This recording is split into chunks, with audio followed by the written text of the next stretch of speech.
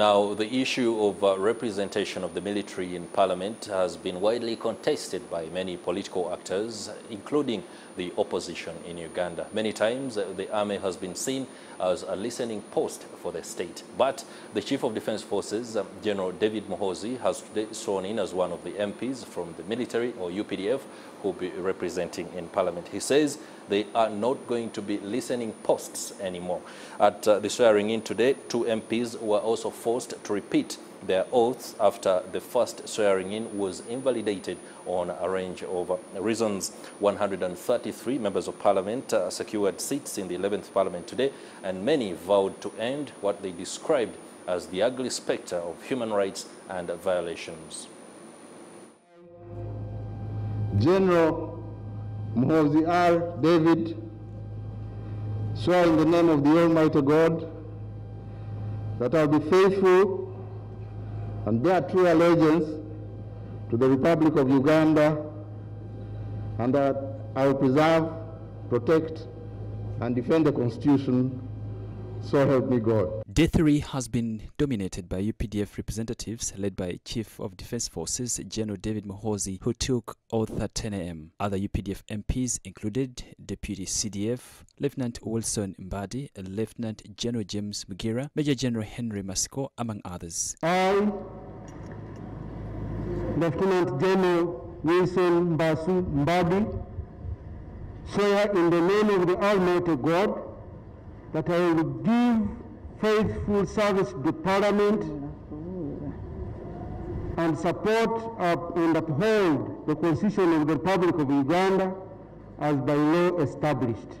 So help me God. I, Lieutenant General James Mugira, swear in the name of the Almighty God that I'll give faithful service to this Parliament and support and uphold the Constitution of the Republic of Uganda as by law established.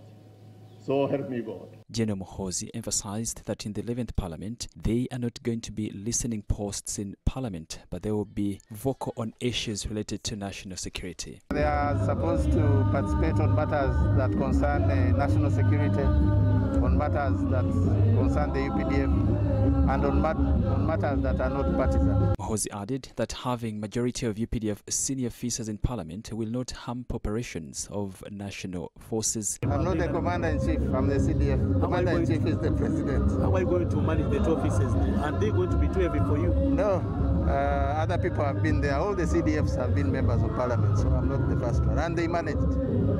Even my predecessor was a Major General Sam Kavuma, who sworn in yesterday, was forced to repeat his oath today after it was found out that he made errors which invalidated his oath.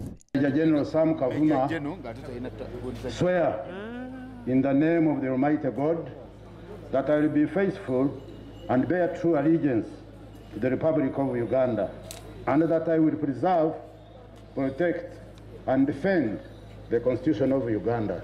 So help me God. The former Minister of Health, Major General Jim Muhwezi, who bounced back after missing the 10th Parliament, is among the key MPs who took oath today. Others included former Minister of Energy, Irene Muloni, former Minister of State for ICT, Idah Nantaba, among others. I, Muhwezi Jimu Katugugu, swear in the name of the Almighty God that I will be faithful and bear true allegiance to the Republic of Uganda and that I will preserve, protect, and defend the Constitution.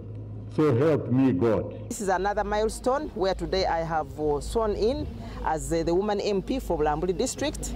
Uh, because of COVID, they only allowed us three people. So my Bulambuli people, I'm with you at heart. Our term has now begun. We want to make sure that we chase poverty out of Lambuli.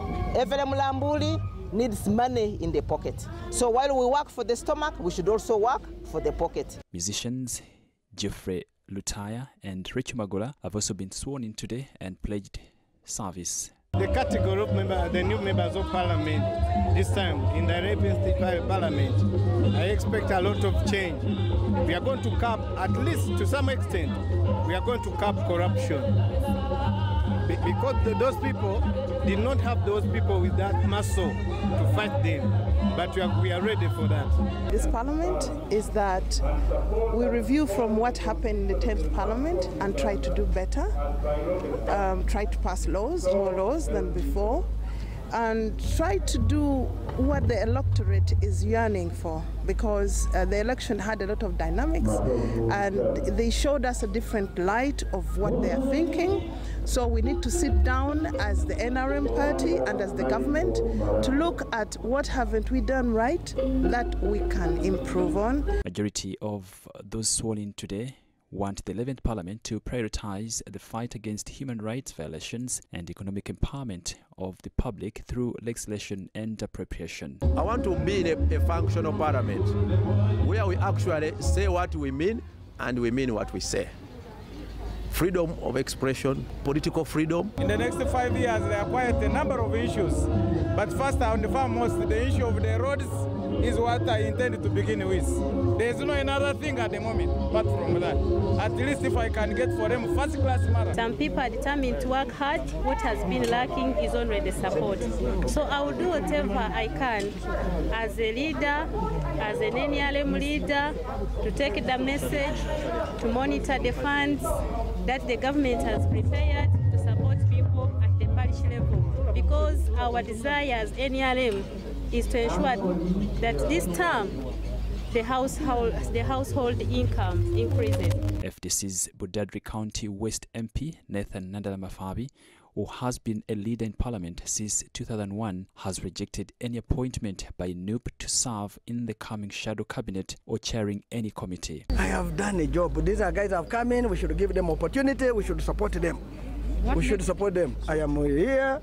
I am here to support. For me, I am here. Hmm. I am your worker. I will support. The third day ended with 133 MPs taking oath, scaling the total number of integrated MPs to 398. Story compiled by Fred Kajubi for the news in Parliament.